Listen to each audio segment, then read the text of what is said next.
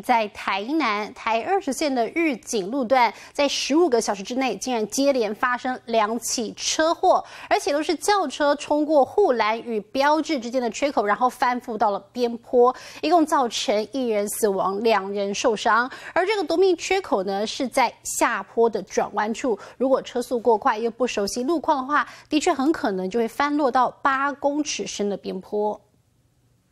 轿车翻落边坡，从恐怖缺口掉进芒果园，这一摔就是八公尺深。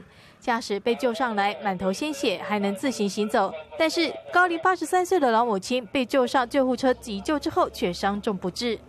这里是台二十线台南预警路段，笔直的下坡路段有个大转弯。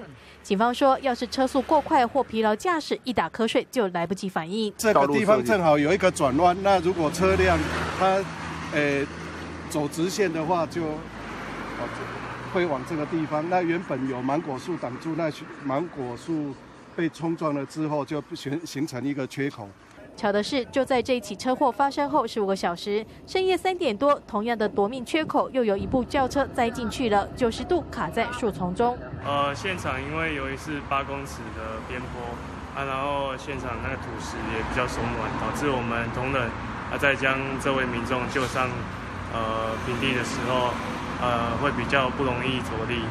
同样的转弯缺口一再出事，让警消疲于奔命。尤其入秋之后，山区容易出现浓雾，公务段已经增设反光标志，加强警示。警方也提醒用路人，行经台二十线预警路段，一定要减速慢行，以免掉进夺命缺口。